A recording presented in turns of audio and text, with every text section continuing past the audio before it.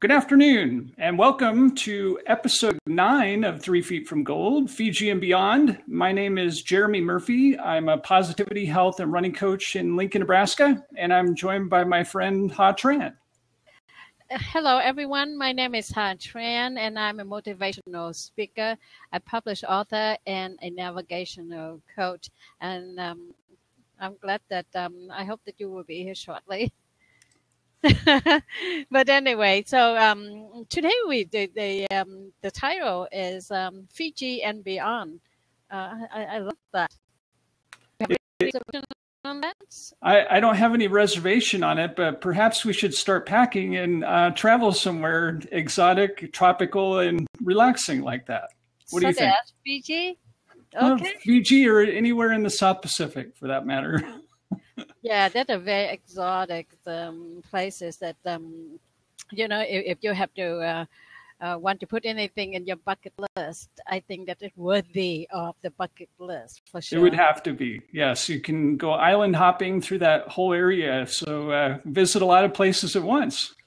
Yeah.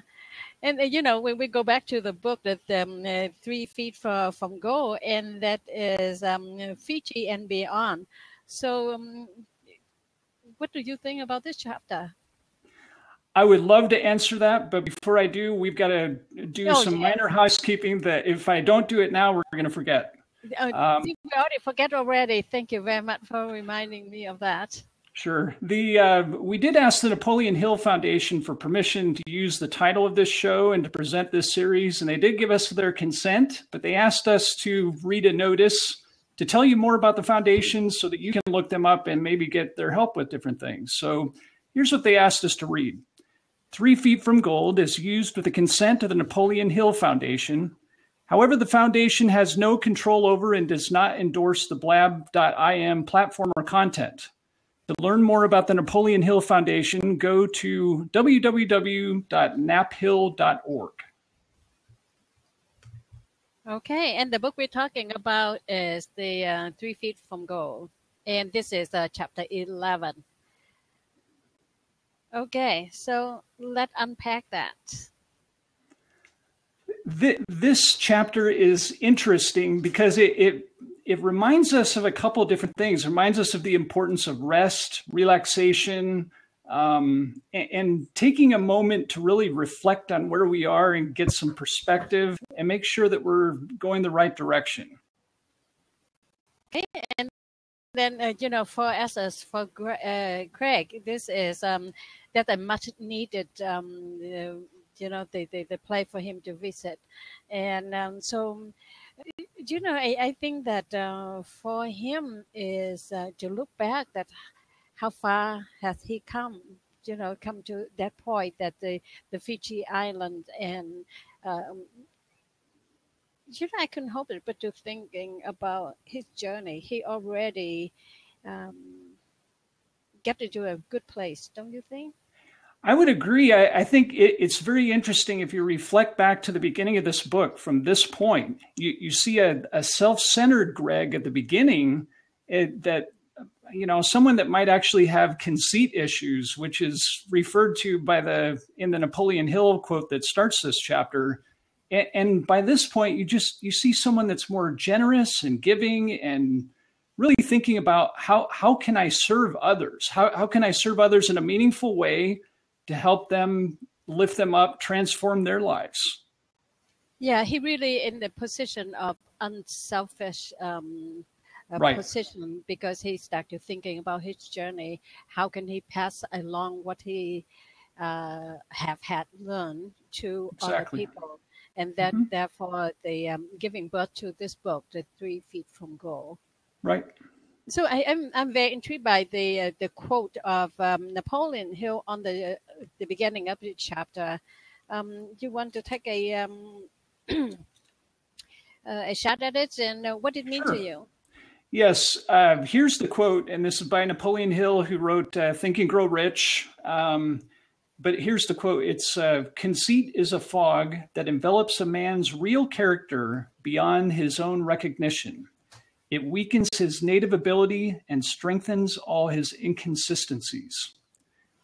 And uh, when I see this, what I think about is uh, just how sometimes we have good clarity and sometimes our, our vision gets clouded by our own self-centeredness and uh, you know wanting to satisfy our own needs instead of helping others. And it just it it causes us to move in the wrong way in the wrong direction. And uh, you know even undertaking the wrong activities that uh, are just designed to trumpet our own abilities when in fact we should be doing the opposite.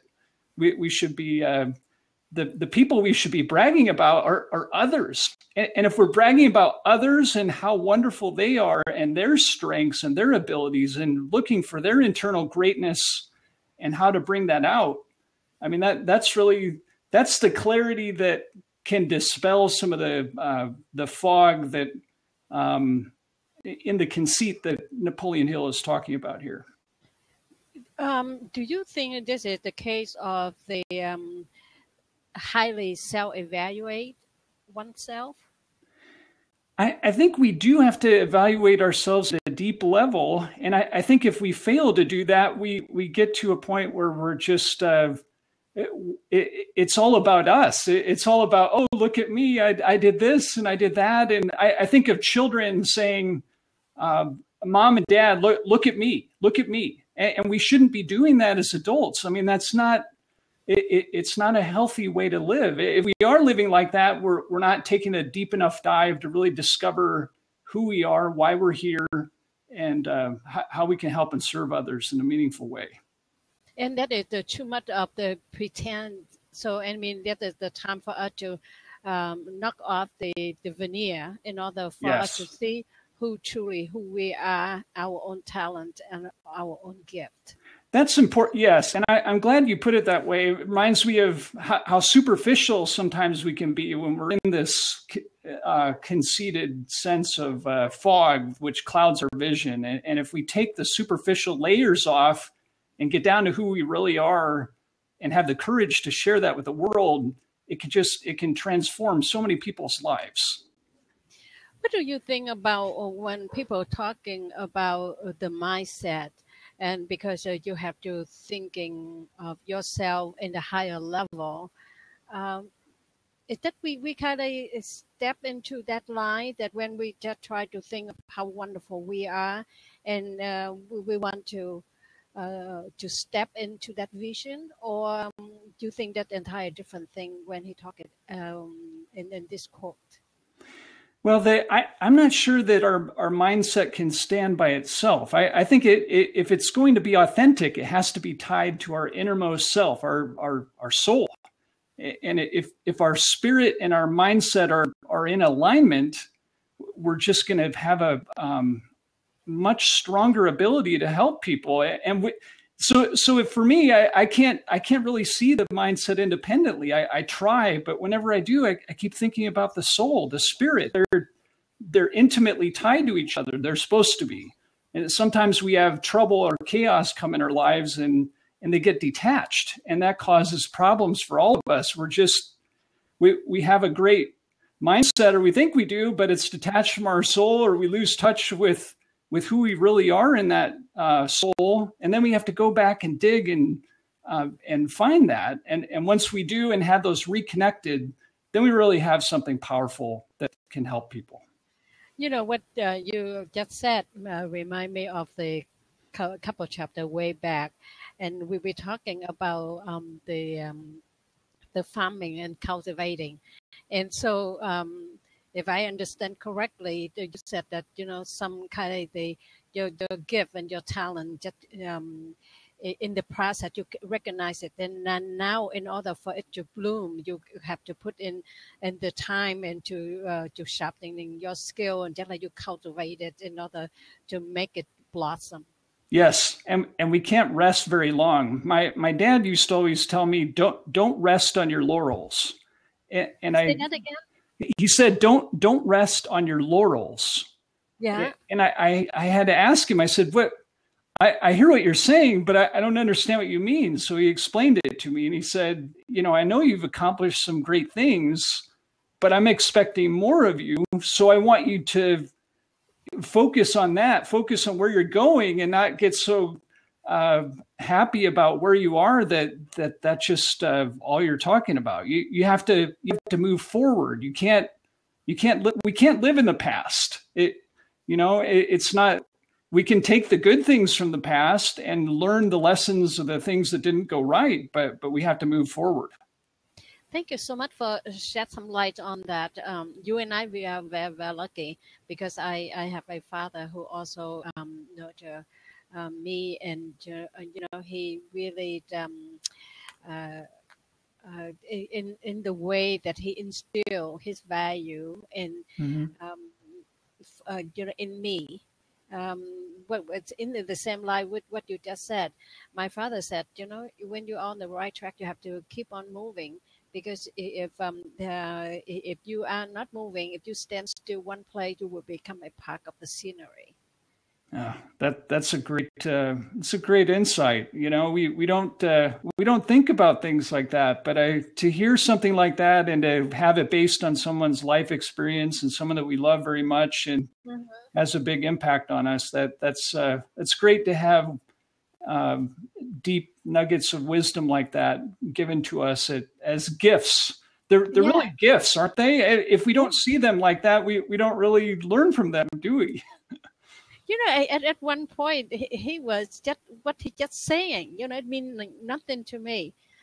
Boy, until I was, um, uh, I had grown up a lot since I left my father's house. So something like that. I'd come back and just provide me such a valuable lesson. Good. You know, in, in the American culture, I think that Will Roger, he said that if you are on the right track and you are not moving, you will get run over.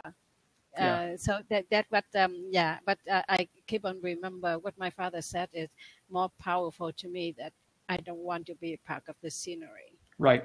Yeah, I, I, think we're all called to be more than that. I mean, that's mm-hmm. it, it, we we have to ask ourselves though, what why are we here? Not just why are we here today, but why are we here on Earth? What what is our central mission that that we're called to do? Yeah, I, I think that um, that make us become who we are just because of um, the, the way we are thinking. You know, just like, okay, we need to know that uh, what is the lesson here? What is our purpose to right. put in this position?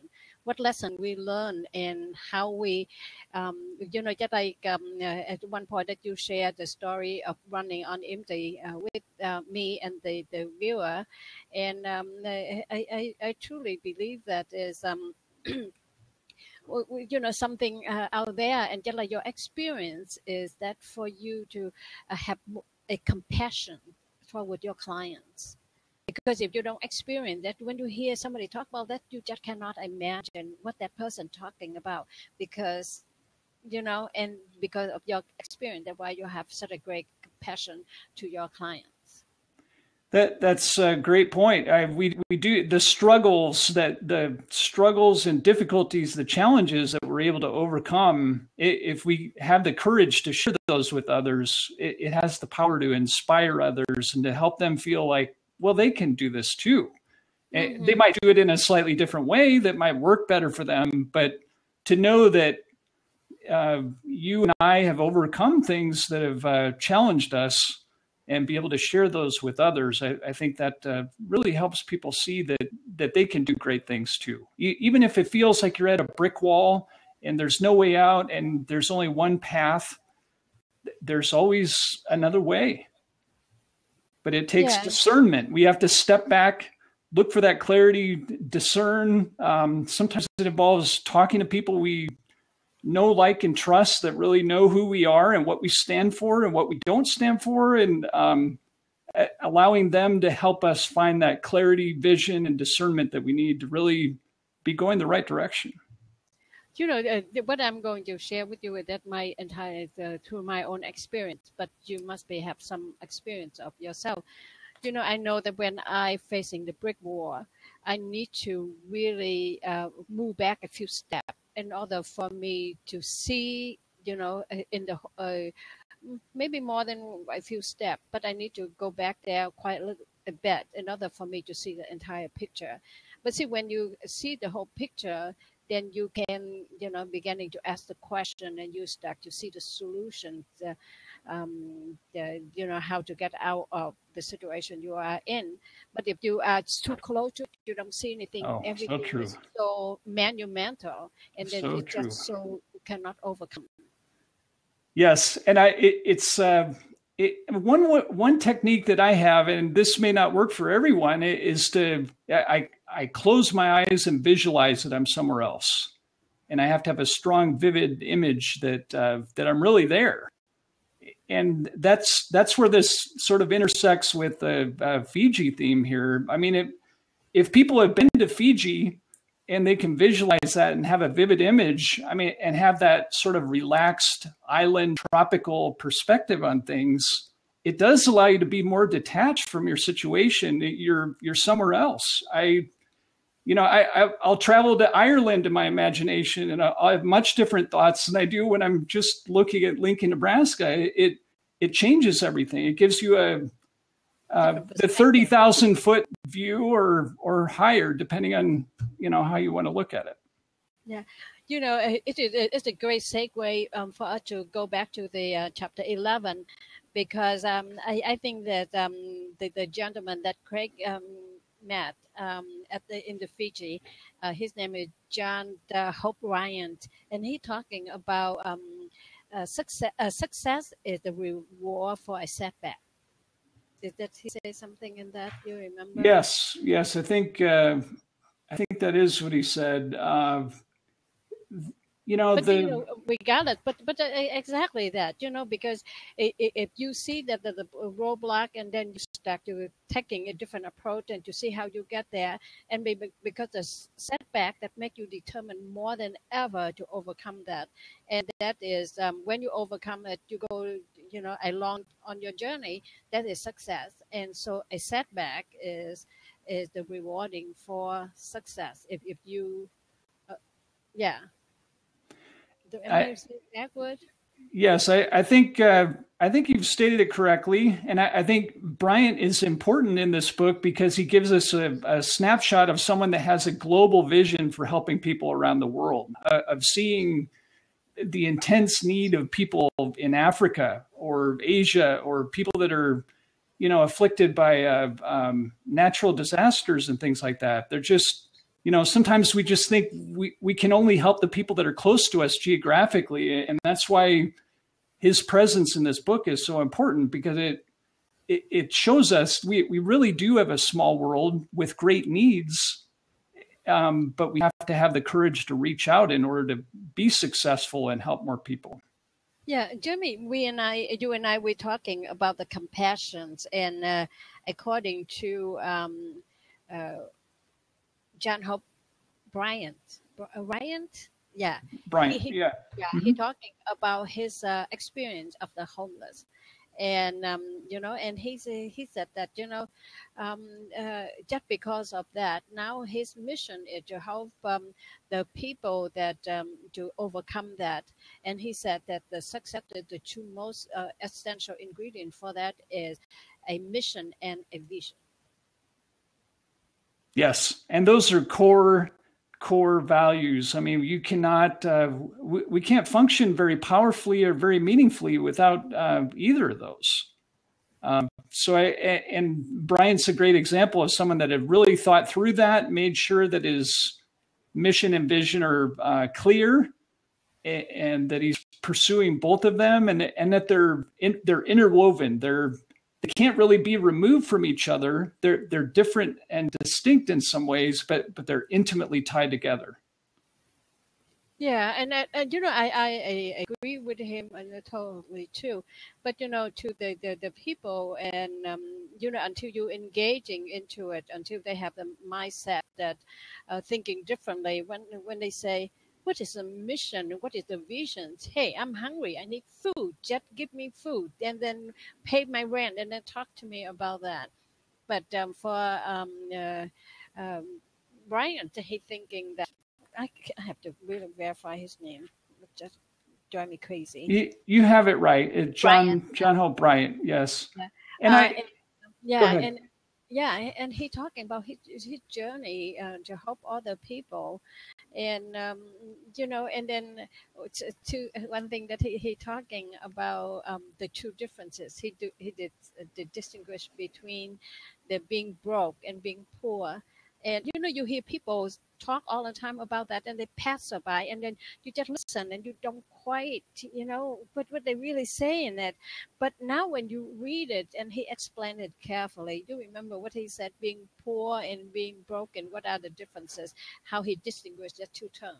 Yeah, the being being broke is a temporary condition, and, and, it's a temporary condition that we all go through. It, it's transitory, and uh, being broke is interesting to me because we all have a different we all have a little bit of brokenness in us a, a little bit of imperfection and it's the type of thing where uh, for people that are homeowners if something breaks in your house and you have to we have to go find a tool to go fix it uh, put it back up in the wall if something falls off the wall.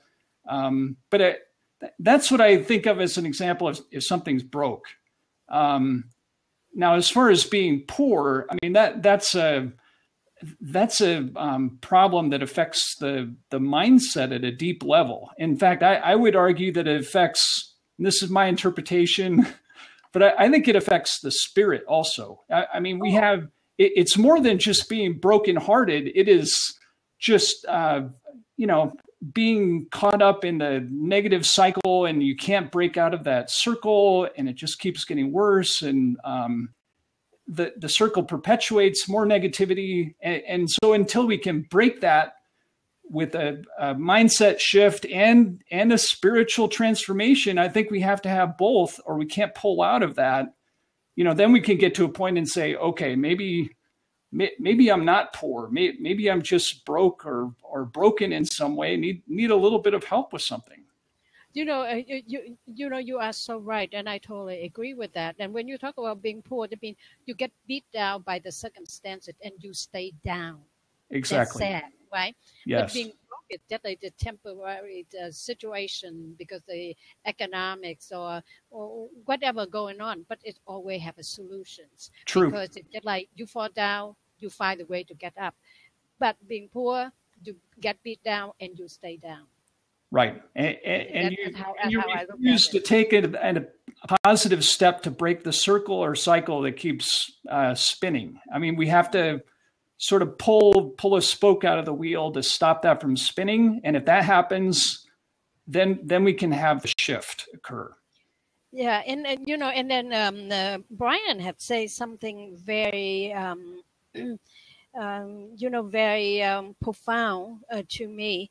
And I, I remember that um, Winston Churchill also said something similar to that. Success that consists of going from failure to failure without loss of enthusiasm. You know, because uh, see that's the spirit. Then see what you're talking about, the spirit, and you keep on. You know, you get beat down, you get up. You know, you get you know i mean if you just fall on your face all the sweat and all the dirt and uh, all the blood in your face. But you get up and you wipe your face off with your arm and with your sleeve and you keep on going. Yes I, and i churchill talked about blood sweat and tears i think too. So i when you said that it made me think of that. But but that's it's the eternal if we can be eternal optimists at, at least at our core at that point we can uh, we can deal with these minor failures or setbacks that occur and realize that every one of them can be a string a springboard to a wonderful comeback and, and that we can change our lives in meaningful ways. And uh, if we get to that point we, we, can affect so many people. I, I just i cannot believe if you know, having seen people do this before and doing it myself, I mean, once you reach that point, you realize how many people you're affecting. It just, you know, it's very exciting. Man, you give me so many segue today because John Hope Bryant also said that 10% of the your attitude determined by what life hand you and 90% by how you choose to respond. Is this is a yes this is a big deal because I, there's a there's a huge difference between being being active and being reactive uh-huh. and, and being reactive is destructive to the point of it, it, can destroy any of us, and not only us, but our families. And so, really shifting from that and realizing I, I don't have to react to everything. I don't have to attend every argument I'm invited to. Um, that's difficult for lawyers to do. We feel like we have to attend every argument.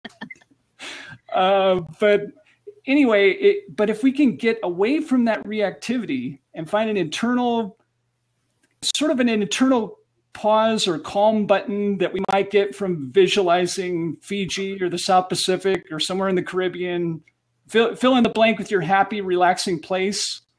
That that's really uh, it's a powerful thing. It, it allows us to make a complete shift and, and move on to something else. It, it's forget it and drive on. you, you, know, um, I have quite a few mentors, and um, you know, to me, it's somebody that I contact uh, directly and talk and learn from uh, him or her. And sometimes that the book I read and uh, something that you know, um, uh, like Zig Ziglar. I met Zig mm-hmm. Ziglar a couple of times, but I have never paid him for coaching or my mentor. But um, one thing is he put in the react and respond. And I love it. And like you just said, like just life offer you whatever the situation is. There are two ways you can do it. One is react and other ones to respond. Right. And you know, because in our own um, uh, thing, when thing happen to us, we react. Well, right? we feel like we have to. We yeah. it just it it's automatic. But but that's the important thing, huh? We're not we're not really being present with making a decision. We we have to slow down just a little bit and if we can slow down a little bit it, it just it changes everything in yeah, very powerful and, ways and then what brian talking about that you know that is sometimes that he understand you know the situation we are the human being we can behave that way so yes. he can up the 10% that you react to it but he think that the success of his own experience or the people he know that the 9% they respond to the situation. They don't yes. react. And so now, uh, and then when that makes me all the time because I'm thinking about Zig Ziglar. He said, if you, you know, your your wife is a pharmacist, uh, um, you know, you know, so sometimes you take the medicine. If the medicine responds good, that they um, uh, you uh, you respond well to the um, the medicine, right? True. But if something we have to say, oh, that means you know you react to the medicine yes and, and then you have to make a shift to different medicine. I, obviously yes that's uh, yeah, that happens commonly. well to, yes. to the medicine, and other Good example. react to the medicine. Right. That, that make me think okay respond is a positive way react is to say oh no no.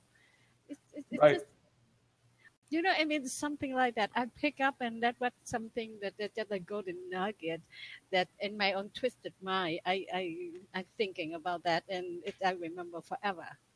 Yes, we, we need to we need to think before we act, and, and mm-hmm. not so much think before we react, because we we don't have to react to everything. I mean, we we can let all kinds of things just blow right past us, and we you know, it, it's very powerful actually to realize I don't, I don't have to react to that. I want to, but I, I choose not to. I, life is life is too short to react to everything. We, we have to really focus on, you know, I try to tell myself, what if today is the last day of my life?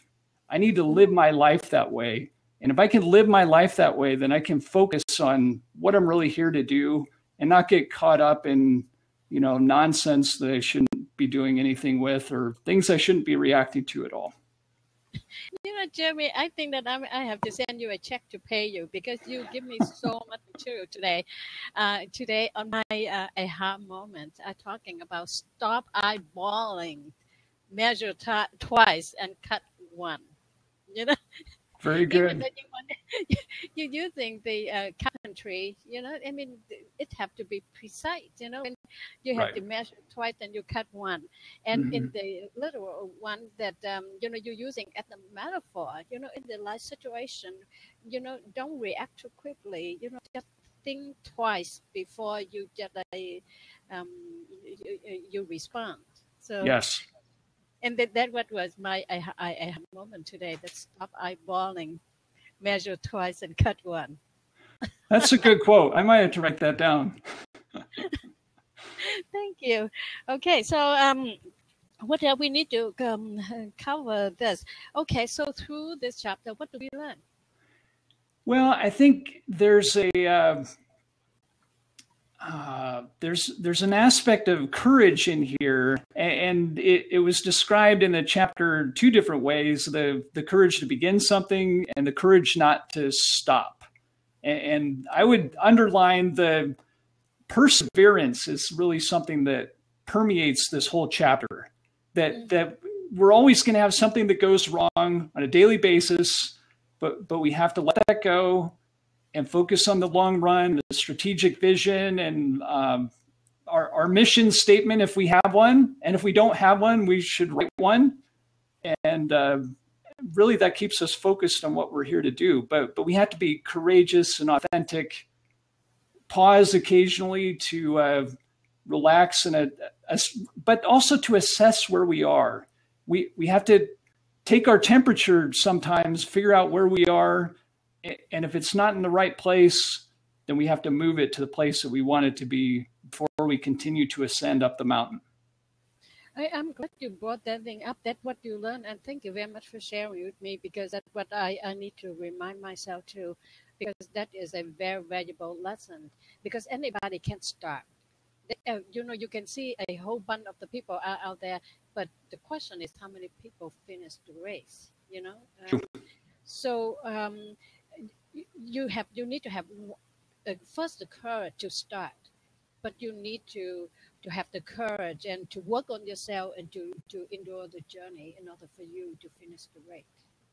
Yes, and we can't we can't treat life every time we reach a destination. We can't act like it's the end because it's not, and that's why that lesson my father gave me was so important to remind me that you're going up here, but in order to do that, you can't stay here, and we have to keep we have to keep moving forward and uh, keep that uh, forward momentum going. What, once our forward momentum is going, we we have to keep moving forward. We we can't look back and get caught up in negative things in the past that can tear us down and destroy us if we let if we let them. I think that a very wise um, advice um, your father gave it to you. Um, because um, you know when you get to a certain um, station you can see further. Therefore you can set your mind or set another goal to move uh, continue to move forward. True. Um, but you know and, and because when you get somewhere else and then you decided okay uh, I'm done. You know, you, you just cannot um, to get there and then to only get there. You have to continue. Right. Yes, life is a journey and not a destination. And there are a lot of people. Every time that uh, any of us fall, there are people watching, and and they're watching how we uh, respond to that. And, and if we respond in a positive way, it's going to inspire dozens of other people that do the same or or do something better in a different way. Um, but but if we complain about it and we're just negative and we react to everything and, and we're just we're, we're ready to punch everybody that does something wrong to us, I we can't live our lives that way. We can't. I it just it's it, it, it will completely destroy anyone to do that. You know, I, I have a uh, two things that I want to mention to what you just said um, you know, um, uh, my, my, I keep on saying about my father because that's what I I store in my head, and sometimes I just bring it out. He said, "You quit, you fail." Simple as that. Hmm. You know, because if, if you continue, even you fail on your face and everything, but if you continue to go on, you are not failing yet because you are, you know, because you have, have not the end of the the journey yet. So they cannot say that you fail because you're still in progress, right? Great point, and it, it, reminds me of Thomas Edison all his attempts to make uh, electricity work with the light. Eh, he just simply said, "Okay, well, th- this approach didn't work, so I'm going to try this approach over here that I haven't tried." And he just he kept trying. I mean, a lot of life is trial and error. That if we're persistent and perseverant, we're going to have success. It, but we have to persevere. If we don't persevere, forget it. it it's it's going to be we're just going to have a quitter mentality instead of the champion mentality that we need to have to be successful. Yeah, and, and um, uh, you know, I want to bring one more point uh, uh, in the book, and then we can uh, wrap it up.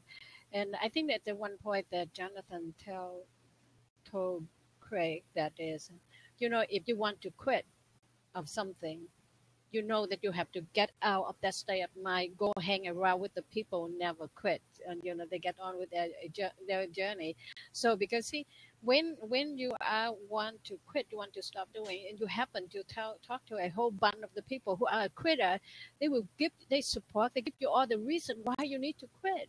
Of course. If, if you go on with somebody that who never quit, and they just say, you know, keep on going, keep on going, because you, you never know that you know, or uh, you never know how close you are to get to your dream. So don't quit. Um, and, and, you know, the people, um, that's why it's just so silly that you allow the people that who are the quitter advise you to quit because what else can they offer to you? That's true, and, and, it's tough when those people happen to be people that are very close to us. You know, they they can be family members, they can be close friends, but but that's why that circle of five people, the inner circle that we all have, and maybe it's not uh, the number five, but but the five or six, eight people that have the most influence on us, they have to be positive. Absolutely right. have to be positive, or or, or we're going to be where they are with our mindset and our spirit and our attitude, and it just it has huge crossover effects to our own uh, uh, psychological makeup and mindset and spirit. Yeah, and you move on, you succeed, you make them look bad. Of course, they, they, you know, they, they want to pull you back. Uh, but more importantly, when you're talking about the family, that's why when you share your vision, you share your goal, you have to share with the right people. The people yes. have the right to hear your to hear to see your vision. You know your family it doesn't mean that um, they have the they uh, they automatically have the right. Because see sometimes those people have a different vision. They don't see what you see. True. and you know I, you might want to keep them in the loving um, compartment where you know, yes. the family love and care about each other. But to share the vision if, if they if they cannot if they they are not doing it they cannot see how can it be done True. Can they forget that you are who you are, your yes. own vision, and you know your own ability. So mm-hmm. be, be, very, very carefully to choose the people you share the role with, and you're seeking for counsel because you yes. just cannot go to any Joe Schmo and said, "What do you think?" The giraffe have a tall uh, neck, see the up here, and the turtle is at the bottom. The, he also have the opinion, but his opinion is just on the ground level. See, that's why very, very carefully to um, pick out the people. Yeah, that you bring up the turtle and slow and steady wins the race. You know, we we don't we don't always have to be reactive rabbits to everything. We we can pause like the turtle, and, and we can still arrive at that destination. And maybe it would be more meaningful to to do that because we will have actually at least sorted through all the things that we have to go through in order to have a positive spin to arrive at that destination and be successful. Right. You know, I I'm glad that we studied this book together and we we talked about that because uh, we we really um, peel so many layers. we don't just see it as the way it is. You know, True. We, we we we look at it at in the deeper level, and then we carve that in our bone deep.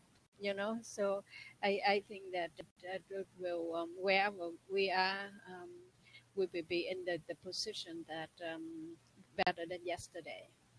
Yes, I agree. It's uh, every day we have to peel the onion and get to the really get to what's essential and what matters the most because our, yeah. our time here is limited. I I wish it were otherwise, but that's the way life is. You know, when you're talking about when you live your life, you're thinking that your last day, um, you know, and thereby you have to, to live uh, fully so that you can die empty. Because what good is that you carry with you? you? Oh, I, I, love that. I, we we do have to be that fully present, and, and, it does allow us to be more powerfully present, and it does cause a mind shift. I I, I just have noticed if I keep telling myself that, I, am you know. and it makes us more active. We we find things we have in our to do list, and we find this is done, this is done, this is done, this is done. And, and when I don't focus to that extent, those things don't get done quite as quickly or quite as well. You know, um, when you say that, and let me share with you the story that I I, um, I went to the school uh, junior high um, classes, and I talked to the student, and uh, I am I believing in the uh, reverse engineering. Mm-hmm. So uh, those kids, they are just a junior high. So I just asking them 10 or 5, 15 years from now, what do they want to see the headline write about them from the the Time magazine or uh, on the Life magazine and stuff like that. And I, I just say, push yourself there, you know, to see what you want to see, those words in print talking about you. And those kids have such a great imaginations, you know, Mhm. and they, they, they so passionately thinking about their position in 10 or 15 years from now. And um, so when, when I uh, we, we, I have a goosebump when I talking about that. You know, see, because they, when they know their purpose and because they know they, they have the destination for them to arrive to, so now I work backward with them because I will tell them, okay, that's what you want. So again, look back to see what you need to do. You know, if you want to go to Harvard University, and you have to go take some time and to figure out what do they expect of you, and then at the junior high, you start to prepare now Right. because you wait until you your senior year in high school and you said I want to go to Harvard. You know, I mean, granted, maybe you you can go to get your harvest easily, but if not, you know, then you have a time to do the preparation for you to meet that requirement, so you can apply to go to Harvard. Yeah, we, And- we can't wait till it's too late. That that's a great point, and I, I love the you know the exercise you talked about. Uh, we talk about writing your own epitaph. You know Uh-huh. what what our gravestone would say, and, and we have to we have to live with our legacy in mind. If we don't, we're not we're not living as powerfully as we're called to be here. Yeah. Um, And I just so that that's one of the most powerful exercises I think I've ever done, and, and sometimes what we might write on that epitaph might shift, but it does give us focus. And for those of us that lack that focus, uh, try it. See see what you come up with, and uh, you might be surprised what you end up writing down or what what you end up crossing out before you get to that last thing that you want to appear there. Yeah, and so I tap on that, and so I share um, my, my my thought on um, on their state and to their teacher and to their parents, and um, you know they, they couldn't help it, but they, they almost can see the headline because they're so passionately uh, thinking about that and what they want to accomplish, and I mean Mhm. it's just a most beautiful thing, and I um I, I love that. So. So Jeremy, that's a Yes. goodbye, and uh, Okay. we um you, uh, so talk about uh, next uh, uh, episode. Okay, next episode is episode 10, and it's uh, Believing in Yourself. It's based on chapter 12 of the Three Feet from Gold book. Mm-hmm. Greg Reid and Sharon Lechter. And uh, we'll be dealing with uh, Norman Vincent Peale next week, one of my favorite uh, inspirational positivists who had a huge impact on my life. Wrote The po- Power of Positive Thinking, among other uh, very meaty, meaningful books. Yes, yeah, I, I I love him too, and um, you know he he he the man done God work, you know, and so I couldn't wait at, uh, until for the next chapter. So thank you, good. Jeremy. Thank you. thank, thank you very much. I, I always feel so get feel so smart after our session because of talking to you. We always you always bring the best in me. Well, I, I think you do that too, and I, I think together our uh, collective wisdom can help so many people. But but we have to be we have to be open and and listen to each other. And if we listen at a deep level, be surprised at what what you might walk away with on a on a daily basis. It's very very powerful. Okay, so w- when you're talking about the power of listening, um, we have a few minutes. Can I go an, another little thing Sure. with you? Sure. Okay, you remember one time that I mentioned to you that I want to talking about the how to feng, feng shui die heart, and so this we talk about the five elements in medicine, and um, but I don't use it in the, the medicine because I know nothing about the medicine. But the five element, the essential element in the Chinese is that um, fire, earth, uh, metal, water, and wood. So um, when you he talking, um, when they're talking about the fire element, they're talking about the warmness, you know, the connection, you know, from your heart to somebody's heart, and it is just like in a sort of very uh, relaxed and very um, caring environment, um, you know, with the warm fire, right? And Right. the the um the the earth is the the element of serving. You want to serve. Mhm. So just because you know you connect with people and you never forget your purpose that you're there to serve them. Right. And and then uh, the metal is uh, acknowledgement. So when you Hmm. want to serve people, you need to meet them where they are at. And the acknowledgement is, you know, that, that the power of listening come in. You listen, you hear them. You hear them and you will meet them uh, where they are at. And you acknowledge, you know, when somebody says something to you, you acknowledge, you know, you might repeat it or you're asking them the question in, in the same line in order for them to know that you hear them Yes. right? And the water is out of the curiosity. Um, you know, in the teaching uh, of the people guru out here, and they're talking about the selling. They want you to asking the question, but they're engineering question because they want to probing. They want to really dig deep and to find what can they sell more to you. Mhm. But you know, the curiosity should be you care enough, want to know about the person in order for you to serve them. Yes. Yeah. Great point. Great. Uh, yeah. Great insight. To, um, sometimes we don't show that authentic curiosity, but we do. It, We we have need much to. more powerful relationships, much Yeah. deeper relationships. And then and the wood mm, i- is that like you give them a choice. You let them make the decisions. You know, uh, for instance, um, uh, you know the conversation you and I had before. You just say, "Oh, um, I want to say that, but I don't know is anybody listen to me or anybody will uh, hire me or so, something like that." Don't making the decision for them. Give them the information they needed and give them the time and the space, and Right. then be available answer the question do not make the, the, the, the, the decision for them. That our respect. Right. You're right. See, and that- that's why uh, I, I want to talk about that because it is very, very important.